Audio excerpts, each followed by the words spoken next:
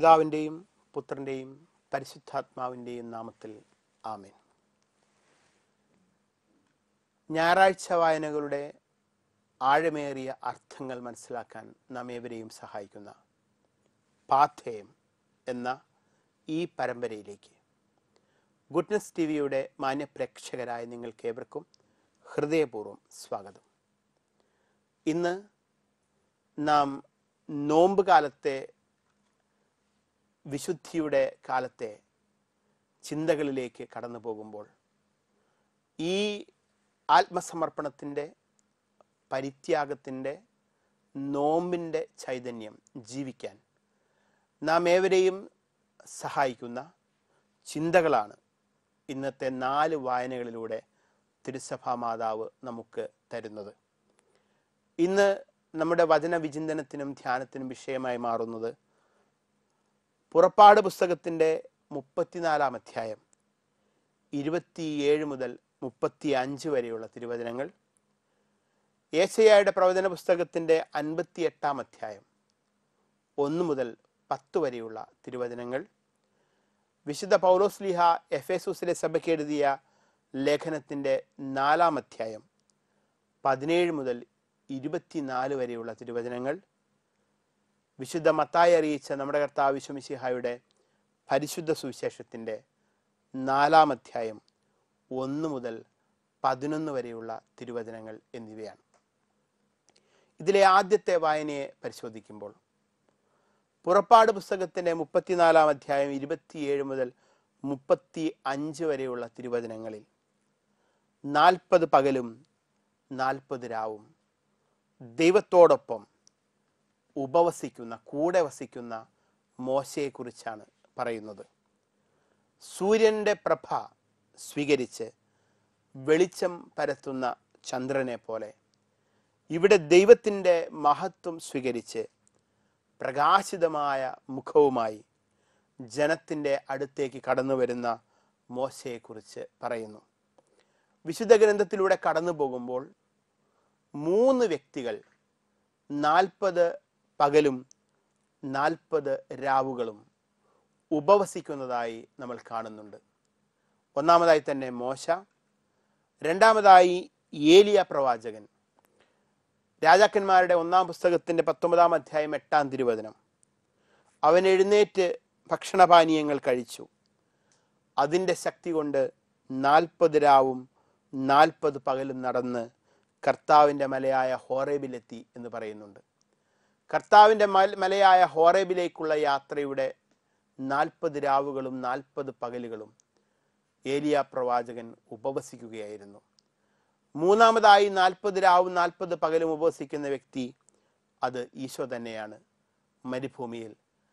ആ പരീക്ഷകൾക്ക് മുൻപ് നാൽപ്പത് രാവുകളും നാൽപ്പത് പകലുകളും മരുഭൂമിയിൽ ഉപവസിക്കുന്ന ഈശോയെക്കുറിച്ച് ഇന്നത്തെ സുവിശേഷത്തിൽ നമ്മൾ കണ്ടെത്തുകയും ചെയ്യും. അപ്പോൾ ഈ വചനഭാഗത്ത് നാൽപ്പത് രാവും നാൽപ്പത് പകലും ഉപവസിക്കുന്ന മോശയെക്കുറിച്ചാണ് പറയുന്നത്. മുപ്പത്തിനാലാം അധ്യായത്തിന്റെ ഇരുപത്തിയെട്ട് മുതലുള്ള തിരുവചനങ്ങൾ. മോശ നാൽപ്പത് പകലും നാൽപ്പത് രാവും കർത്താവിനോടുകൂടെ അവിടെ ചിലവഴിച്ചു. അവൻ ഭക്ഷിക്കുകയോ പാനം ചെയ്യുകയോ ചെയ്തില്ല. ഉടമ്പടിയുടെ വചനങ്ങളായ പത്തു പ്രമാണങ്ങൾ അവൻ പലകകളിൽ എഴുതി. രണ്ട് സാക്ഷ്യഫലകങ്ങളും വഹിച്ചുകൊണ്ട് മോശ സീനായ മലയിൽ നിന്ന് താഴേക്ക് വന്നു. ദൈവവുമായി സംസാരിച്ചതിനാൽ തന്റെ മുഖം തേജോമയമായി എന്ന കാര്യം അവൻ അറിഞ്ഞില്ല. അഹരോറും ഇസ്രായേൽ ജനവും മോശയുടെ മുഖം പ്രശോഭിക്കുന്നത് കണ്ടു അവനെ സമീപിക്കാൻ അവർ ഭയപ്പെട്ടു. മോശ അവരെ വിളിച്ചു. അഹറോനും സമൂഹ നേതാക്കന്മാരും അടുത്തു ചെന്നു മോശ അവരോട് സംസാരിച്ചു. അനന്തരം ജനം അടുത്തു ചെന്നു. സീനായ മലയിൽ വെച്ച് കർത്താവ് തന്നോട് സംസാരിച്ചതെല്ലാം അവൻ അവർക്ക് കൽപ്പനയായി നൽകി. ഇവിടെ മോശയുടെ മുഖം പ്രശോഭിക്കുന്നതിനെക്കുറിച്ച് മോശയുടെ മുഖം വലിയ പ്രകാശം കൊണ്ട് ജ്വലിച്ചതിനെ കുറിച്ച് തിരുവചനം പറയുകയാണ്. സങ്കീർത്തകൻ നമുക്ക് ഉറപ്പ് തരുന്നുണ്ട്. കർത്താവിനെ നോക്കിയവർ കർത്താവിനോട് ചേർന്ന് നിൽക്കുന്നവർ പ്രകാശിതരാകുമെന്ന്. സങ്കീർത്തനം മുപ്പത്തിനാലാം സങ്കീർത്തനത്തിന്റെ അഞ്ചാം തിരുവചനം. അവിടുത്തെ നോക്കിയവർ പ്രകാശിതരായി അവർ ലജ്ജിതരാവുകയില്ല. ഏസയ പ്രവചന പുസ്തകത്തിന്റെ അറുപതാം അധ്യായം ഒന്ന് രണ്ട് തിരുവചനങ്ങളിലും ഇതേ കാര്യം തന്നെ പറയുന്നുണ്ട്. ഉണർന്ന് പ്രശോഭിക്കുക നിന്റെ പ്രകാശം വന്നു ചേർന്നിരിക്കുന്നു കർത്താവിന്റെ മഹത്വം നിന്റെ മേൽ ഉദിച്ചിരിക്കുന്നു. അന്ധകാരം ഭൂമിയെയും കൂരിരുട്ട് ജനതകളെയും മൂടും. എന്നാൽ കർത്താവ് നിന്റെ മേൽ ഉദിക്കുകയും അവിടുത്തെ മഹത്വം നിന്നിൽ ദൃശ്യമാവുകയും ചെയ്യും. മോശ കടന്നുപോയ അനുഭവം ഇതാണ്. കർത്താവ് അവന്റെ മേൽ ഉദിക്കുന്ന ഒരു അനുഭവത്തിലേക്ക് ദൈവാനുഭവത്തിലേക്ക് മോശ കടന്നുപോയി. എന്താണ് ഈ വചനത്തിന്റെ സന്ദേശം? ദൈവാനുഭവം നമ്മെ പ്രകാശത്തിലേക്ക് നയിക്കും. ഈശോയുടെ രൂപാന്തരീകരണ സമയത്ത് വലിയ ദൈവാനുഭവത്തിന്റെ വേളയിലുണ്ടായ പ്രകാശത്തെക്കുറിച്ച് സുവിശേഷങ്ങളെ നമ്മൾ വായിക്കുന്നുണ്ട്. വിശുദ്ധിയും പ്രകാശവും അശുദ്ധിക്കും അന്ധകാരത്തിനും എതിരാണ്. പ്രകാശം കടന്നു ചെല്ല ചെല്ലുന്നിടത്തെല്ലാം അന്ധകാരം ഓടിയകലും. ദൈവികത കടന്നു ചെല്ലുന്നിടത്തെല്ലാം പൈശാചികത ഓടിയകലും. അതുകൊണ്ട് നമുക്ക് പ്രകാശത്തിന്റെ വാഹകരാകാം പ്രശോഭിക്കാം അന്ധകാരത്തെ അകറ്റി നിർത്താം എന്ന് ഈ തിരുവചനം നമ്മെ ഓർപ്പിക്കുന്നു നോമ്പുകാലം എന്നത് ആഴമേറിയ ദൈവാനുഭവത്തിന്റെ നാൽപ്പത് രാവുകളും നാൽപ്പത് പകലുകളും നമുക്ക് സമ്മാനിക്കുന്ന കാലഘട്ടമാണ്. നോമ്പുകാലം ആത്മാവിനെ പ്രശോഭിപ്പിക്കുന്നതിനുള്ള ഒരു കാലഘട്ടമാണ്. അതുകൊണ്ട് മോശയെപ്പോലെ പോലെ ആത്മാവിന്റെ നിറവ് ചൈതന്യം അത് ലഭിക്കാൻ നമുക്കും സാധിക്കും എന്ന് ഈ വചനം നമ്മെ ഓർമ്മിപ്പിക്കുന്നു. ഏസിയ പ്രവചന പുസ്തകത്തിന്റെ അമ്പത്തിയെട്ടാം അധ്യായം ഒന്ന് മുതൽ പത്ത് വരെയുള്ളതാണ് രണ്ടാമത്തെ വായന. ഇവിടെ മൂന്നാം ഏശയായിൽ നിന്നുമുള്ള വചനഭാഗമാണ് നമ്മുടെ പ്രതിപാദ്യ വിഷയം. പ്രധാനമായും മൂന്ന് കാര്യങ്ങളാണ് ഇവിടെ പറയുന്നത്.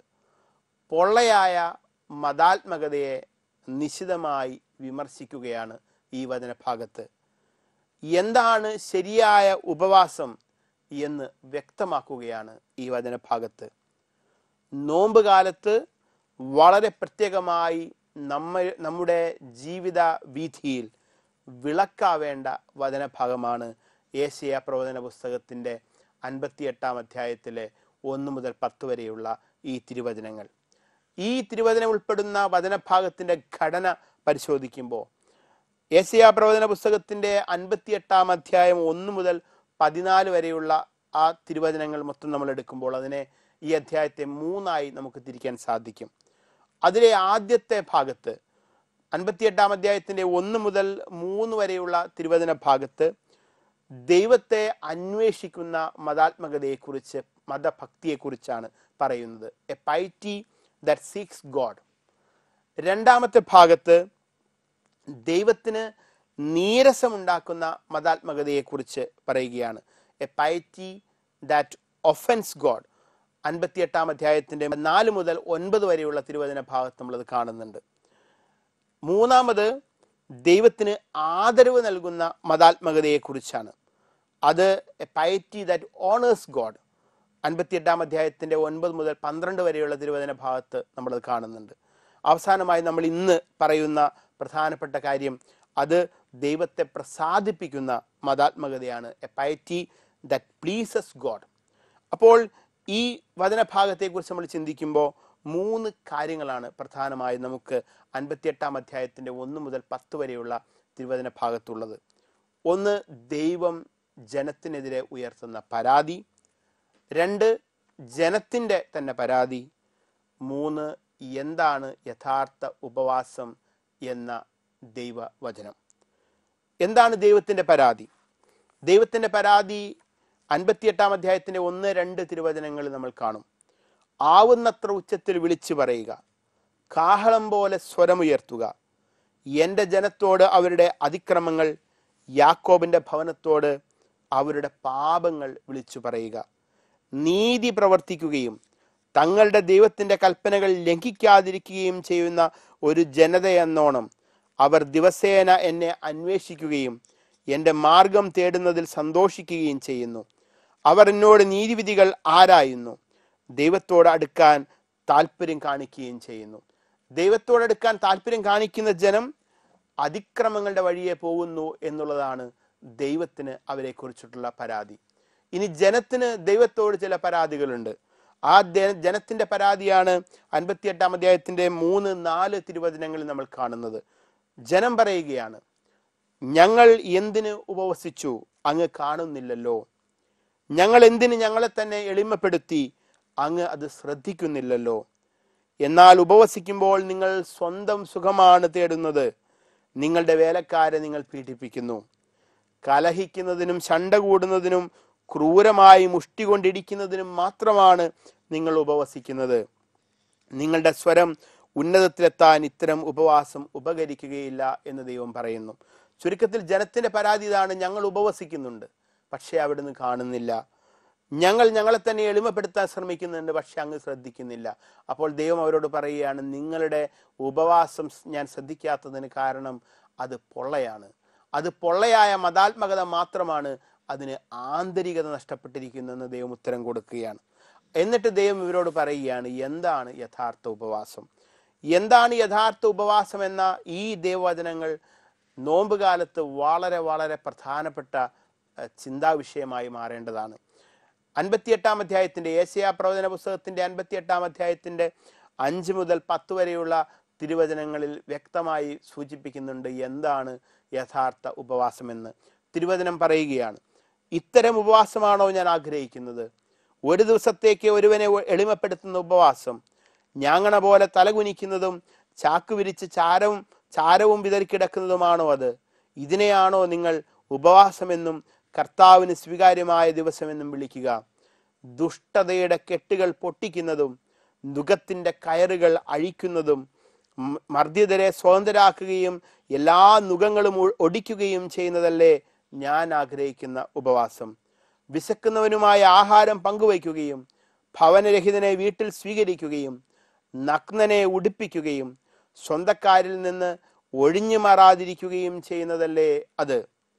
അപ്പോൾ നിന്റെ വെളിച്ചം പ്രഭാതം പോലെ പൊട്ടിവിരിയും. നീ വേഗം സുഖം പ്രാപിക്കും. നിന്റെ നീതി നിന്റെ മുൻപിലും കർത്താവിന്റെ മഹത്വം നിന്റെ പിൻപിലും നിന്നെ സംരക്ഷിക്കുമെന്ന് തിരുവചനം പറയുന്നു.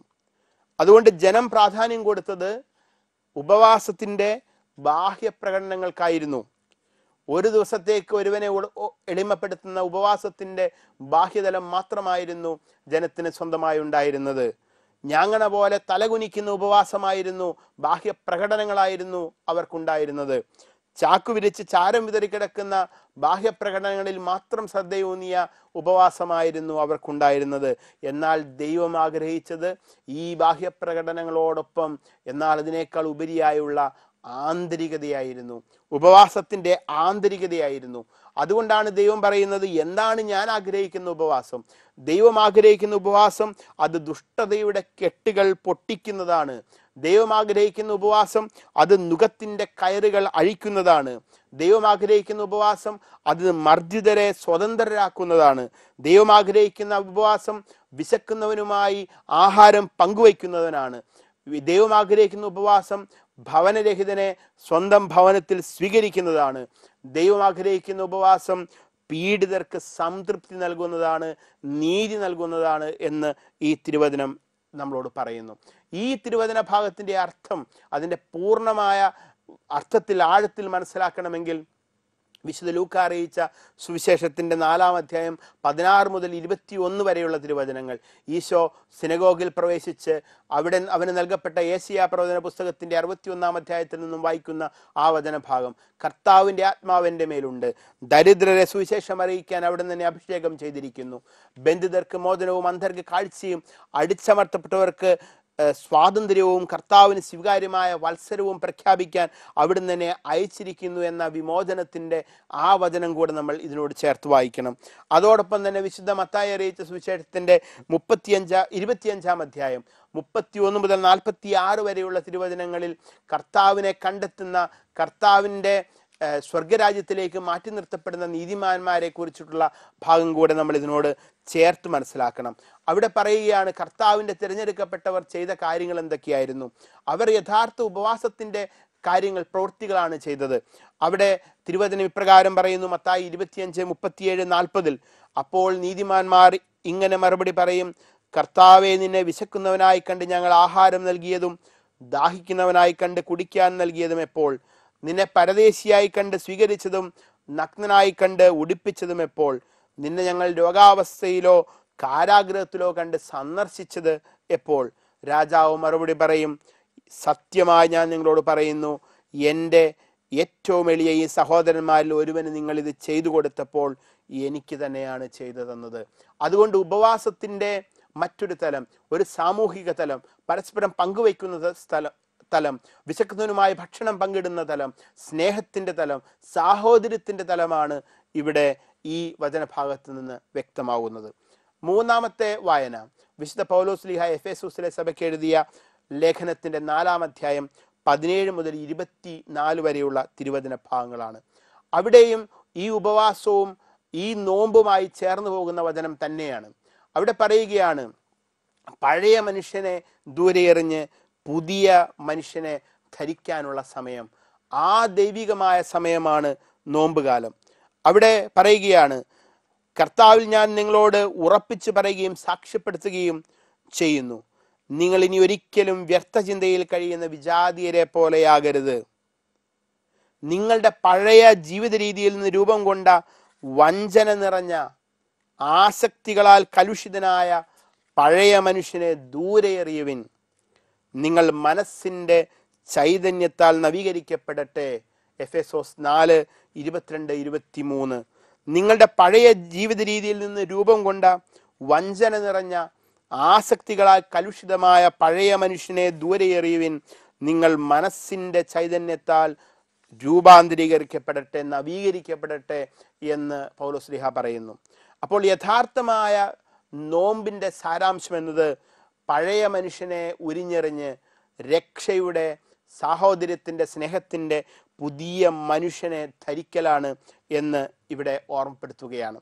രണ്ട് സാധ്യതകൾ ഈ വചനഭാഗത്തുണ്ട്. രണ്ട് വഴികളെക്കുറിച്ച് ഈ വചനഭാഗത്ത് പറയുന്നുണ്ട്. ഒന്ന് ദൈവത്തിന്റെ വഴി ഈശോയുടെ വഴി രണ്ട് വിജാതീയരുടെ വഴി അന്യദേവന്മാരുടെ വഴി. ഈ തരത്തിലുള്ള രണ്ട് വഴികളെക്കുറിച്ച് രണ്ട് സാധ്യതകളെക്കുറിച്ച് എഫേസൂസിലെ ജനത്തോട് പൗലുസ്ലിഹ പറയുകയാണ് നിങ്ങൾക്ക് ഇഷ്ടമുള്ളത് തിരഞ്ഞെടുക്കാം. പക്ഷേ ഈശോയുടെ വഴി നിങ്ങൾ തിരഞ്ഞെടുക്കുമ്പോൾ അത് നിങ്ങളെ രക്ഷയിലേക്ക് നയിക്കും. വിജാതിയരുടെ വഴികൾ നിങ്ങളെ തിരഞ്ഞെടുക്കുമ്പോൾ അത് നിങ്ങളെ ശിക്ഷയിലേക്ക് നാശത്തിലേക്ക് നയിക്കും. ഇത്തരത്തിലുള്ള രണ്ട് വഴികളെക്കുറിച്ച് രണ്ട് സാധ്യതകളെക്കുറിച്ച് തിരുവചനത്തിൽ സുവിശേഷത്തെ നമ്മൾ കാണുന്നുണ്ട്. വിശുദ്ധ മത്തായി അറിയിച്ച സുവിശേഷത്തിന്റെ ഏഴാം അധ്യായം പതിമൂന്ന് പതിനാല് തിരുവചനങ്ങളിൽ രണ്ട് വഴികളെക്കുറിച്ച് പറയുന്നു. ഇടുങ്ങിയ വാതിലൂടെ പ്രവേശിക്കുവിൻ വിനാശത്തിലേക്ക് നയിക്കുന്ന വാതിൽ വിസ്തൃതവും വഴി വിശാലവുമാണ്. അതിലെ കടന്നു പോകുന്നവർ വളരെയാണ് താനും.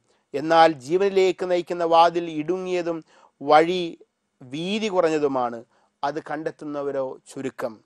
രണ്ട് സാധ്യതകളെക്കുറിച്ച് നിയമാവർത്തന ഗ്രന്ഥം പറയുന്നുണ്ട്. നിയമാവർത്തന ഗ്രന്ഥത്തിന്റെ പതിനൊന്നാം അധ്യായം ഇരുപത്തിയാറ് ഇരുപത്തിയെട്ട് തിരുവചനങ്ങൾ. ഇന്നേ ദിവസം നിങ്ങളുടെ മുമ്പിൽ ഞാൻ ഒരു അനുഗ്രഹവും ശാപവും വയ്ക്കുന്നു. ഇന്ന് ഞാൻ നിങ്ങൾക്ക് നൽകുന്ന നിങ്ങളുടെ ദൈവമായ കർത്താവിന്റെ കൽപ്പനകൾ നിങ്ങൾ അനുസരിച്ചാൽ അനുഗ്രഹം. നിങ്ങളുടെ ദൈവമായ കർത്താവിന്റെ കൽപ്പനകൾ അനുസരിക്കാതെ ഞാൻ ഇന്ന് കൽപ്പിക്കുന്ന മാർഗത്തിൽ നിന്ന് വ്യതിചലിച്ച് നിങ്ങൾക്ക് അജ്ഞാതരായ അന്യദേവന്മാരുടെ പിറകെ പോയാൽ ശാപം.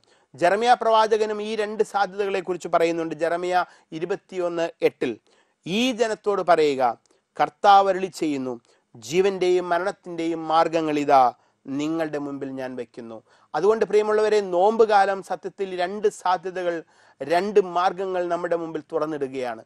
അതിൽ നോമ്പിന്റെ വഴി എന്നത് ഇടുങ്ങിയ വഴിയാണ്. നോമ്പിന്റെ വഴി എന്നത് ത്യാഗത്തിന്റെ വഴിയാണ്. നോമ്പിന്റെ വഴി എന്നത് പരിത്യാഗത്തിന്റെ വഴിയാണ് ആത്മപരിത്യാഗത്തിന്റെ വഴിയാണ് നിയന്ത്രണങ്ങളുടെ വഴിയാണ്. പക്ഷേ ആ ഇടുങ്ങിയ വാതിൽ നമ്മളെ ജീവനിലേക്കും അനുഗ്രഹത്തിലേക്കും നയിക്കും എന്ന് തിരുവചനം നമ്മളോട് ഉറപ്പു തരുന്നു.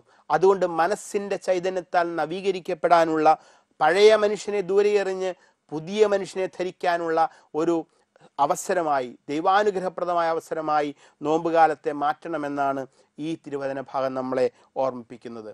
അവസാനമായി വിശുദ്ധ മത്തായി അറിയിച്ച സുവിശേഷത്തിന്റെ നാലാം അധ്യായം ഒന്ന് മുതൽ പതിനൊന്ന് വരെയുള്ള തിരുവചനം. ഇവിടെ നമ്മൾ കാണുന്നത് ജ്ഞാനസ്നാന വേളയിൽ ഈശോയുടെ മേൽ പരിശുദ്ധാത്മാവ് ആവസിക്കുകയും സ്വർഗം ഈശോ ദൈവപുത്രനാണ് എന്ന് വെളിപ്പെടുത്ത വെളിപ്പെടുത്തുകയും ചെയ്യുന്നത് കേട്ട പ്രലോഭകൻ പിശാജ് ഈശോയെ പരീക്ഷിക്കാനായി ഒരുമ്പിടുന്നതാണ്. അവിടെ അവിടെ ജ്ഞാനസ്നാനവേളയിൽ ഈശോ ദൈവപുത്രനാണ് എന്ന് സ്വർഗം പ്രഘോഷിക്കുന്നത് ഈ പിശാജി കേട്ടു. നമുക്കറിയാം വിശുദ്ധ സുവിശേഷത്തിന്റെ മൂന്നാം അധ്യായം പതിനാറ് പതിനേഴ് തിരുവചനങ്ങൾ. സ്നാനം കഴിഞ്ഞ ഉടനെ യേശു വെള്ളത്തിൽ നിന്ന് കയറി. അപ്പോൾ സ്വർഗം തുറക്കപ്പെട്ടു. ദൈവാത്മാവ് പ്രാവിന്റെ രൂപത്തിൽ തന്റെ മേൽ ഇറങ്ങി വരുന്നത് അവൻ കണ്ടു. ഇത് ഇവൻ എന്റെ പ്രിയപുത്രൻ ഇവനിൽ ഞാൻ പ്രസാദിച്ചിരിക്കുന്നു എന്ന സ്വരം സ്വർഗത്തിൽ നിന്ന് കേട്ടു. ഇത്തരത്തിൽ ഇവൻ എന്റെ പ്രിയപുത്രനാണ് ഇവൻ ദൈവപുത്രനാണ് എന്ന് സ്വർഗം സാക്ഷ്യപ്പെടുത്തുന്നത് കേട്ട പിശാജ് ഇവൻ ദൈവത്തിന്റെ പുത്രനാണ് പരിശുദ്ധാത്മാവിനാൽ നിറഞ്ഞവനാണ് എന്ന് തിരിച്ചറിഞ്ഞ പിശാജ് അവനെ പരീക്ഷിക്കാൻ വേണ്ടി മരുഭൂമിയിലേക്ക് കൊണ്ടുപോവുകയാണ്. എന്താണ് മരുഭൂമിയുടെ പ്രത്യേകത? പഴയ നിയമജനത ഏറ്റവും അധികം പരീക്ഷിക്കപ്പെടുകയും പരീക്ഷണങ്ങളിൽ വീണുപോവുകയും ചെയ്ത സ്ഥലമാണ് മരുഭൂമി. ഈ മരുഭൂമിയിലേക്ക് തന്നെയാണ് അത്തരത്തിലുള്ള അനുഭവങ്ങളിലൂടെ ആ ജനത്തിന്റെ പരീക്ഷണ അനുഭവങ്ങളിലൂടെ കടന്നു പോകുന്നതിനും ആ ജനം പരീക്ഷണങ്ങളെ തോറ്റെടുത്തെല്ലാം ആ പരീക്ഷണങ്ങളെ വിജയിക്കുന്നതിനുമായി ദൈവപുത്രൻ കടന്നു പോകുന്നത്. ആ മരുഭൂമിയിൽ വെച്ച് ദൈവപുത്രന്റെ ദൈവപുത്ര സ്ഥാനത്തെയാണ് സത്യത്തിൽ ഓരോ ചോദ്യങ്ങൾ വഴി പ്രലോഭകൻ ചോദ്യം ചെയ്യുന്നത്. അനന്തരം പിശാജിനാൽ പരീക്ഷിക്കപ്പെടുന്നതിന് യേശുവിനെ ആത്മാവ് മരുഭൂമിയിലേക്ക് നയിച്ചു.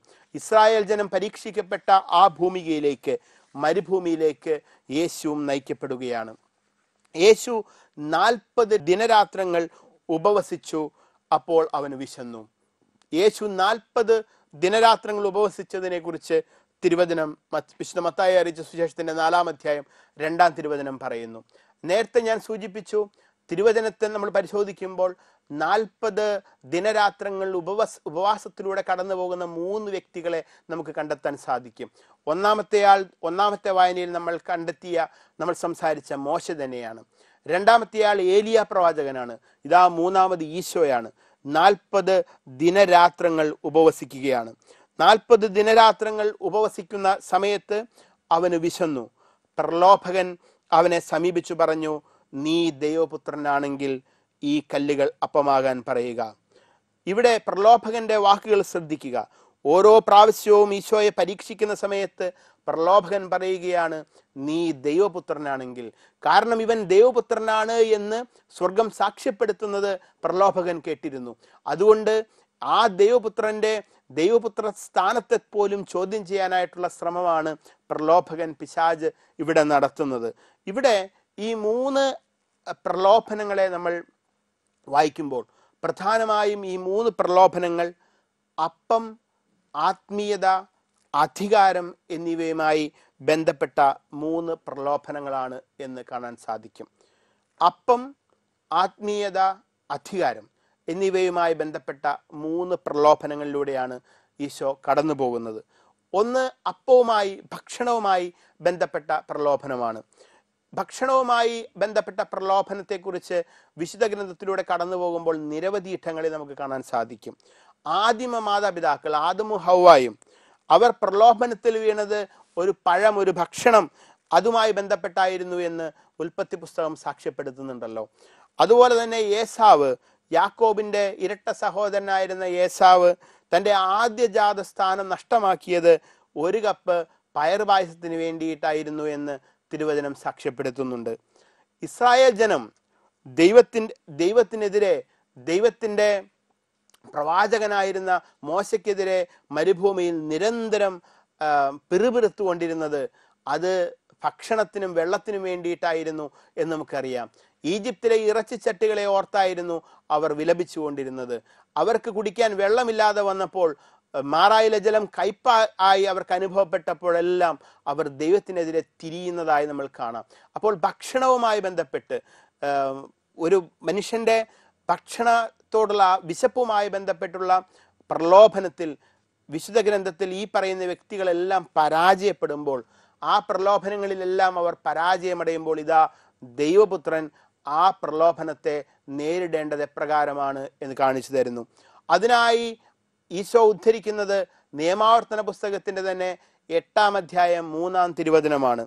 നിയമാവർത്തന പുസ്തകത്തിന്റെ എട്ടാം അധ്യായം മൂന്നാം തിരുവചനം ഇപ്രകാരമാണ് അവിടുന്ന് നിങ്ങളെ എളിമപ്പെടുത്തുകയും വിശപ്പറിയാൻ വിടുകയും നിങ്ങൾക്കും നിങ്ങളുടെ പിതാക്കന്മാർക്കും അപരിചിതമായിരുന്ന മന്ന കൊണ്ട് നിങ്ങളെ സംതൃപ്തരാക്കുകയും ചെയ്തത് അപ്പം കൊണ്ട് മാത്രമല്ല കർത്താവിന്റെ നാവിൽ നിന്ന് പുറപ്പെടുന്ന വാക്കുകൊണ്ടുമാണ് മനുഷ്യൻ ജീവിക്കുന്നതെന്ന് നിങ്ങൾക്ക് മനസ്സിലാക്കി തരാൻ വേണ്ടിയാണ്. രണ്ടാമത്തെ പ്രലോഭനം ആത്മീയതയുമായി ബന്ധപ്പെട്ട പ്രലോഭനമാണ്. ഇവിടെ പറയുന്നുണ്ട് ഈശോയെ പ്രലോഭകൻ കൊണ്ട് നിർത്തുന്നത് വിശുദ്ധ നഗരത്തിലാണ് ദേവാലയത്തിന്റെ അഗ്രത്തിലാണ്. വിശുദ്ധ നഗരവും ദേവാലയത്തിന്റെ അഗ്രവും എല്ലാം സൂചിപ്പിക്കുന്നത് ആത്മീയ ഔന്നത്യത്തെ കുറിച്ചാണ് ഒരു വ്യക്തിയെ തന്റെ ആത്മീയ ഔന്നത്യത്തിൽ നിൽക്കുമ്പോൾ ആ ഔന്നത്യത്തിൽ നിന്ന് താഴേക്ക് ചാടാൻ അത്ഭുത പ്രവൃത്തികൾ കാണിക്കാൻ അതുവഴി ജനത്തിന്റെ കയ്യടി നേടാനായിട്ടുള്ള പ്രലോഭനം ഉണ്ടായെന്ന് വരാം. ഇത് ആത്മീയതയുടെ ഔന്നത്യത്തിൽ നിൽക്കുന്ന ആളുകൾക്ക് സംഭവിക്കാൻ സാധ്യതയുള്ള ഒരു പ്രലോഭനമാണ്.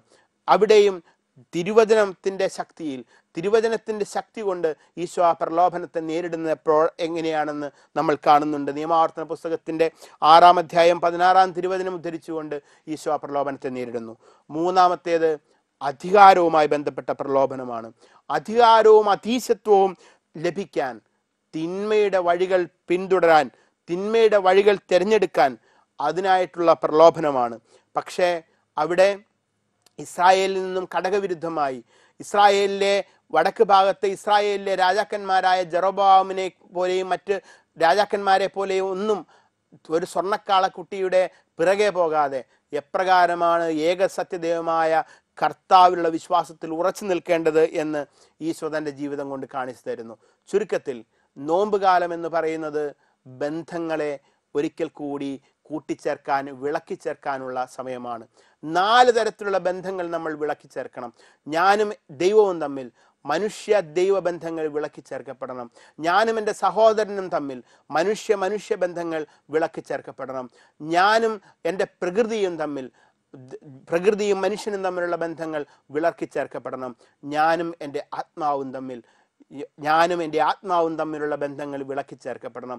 ഇത്തരത്തിൽ ദൈവമനുഷ്യ മനുഷ്യ മനുഷ്യ മനുഷ്യ പ്രകൃതി മനുഷ്യനും ആത്മാവും തമ്മിലുള്ള ബന്ധങ്ങളുടെ വിളക്കി വിളക്കിച്ചേർക്കലിന്റെ സമയമായ നോമ്പുകാലം നമുക്കെല്ലാവർക്കും അനുഗ്രഹീതമായി തീരട്ടെ എന്ന പ്രാർത്ഥനയോടെ പിതാവിന്റെയും പുത്രന്റെയും പരിശുദ്ധാത്മാവിന്റെയും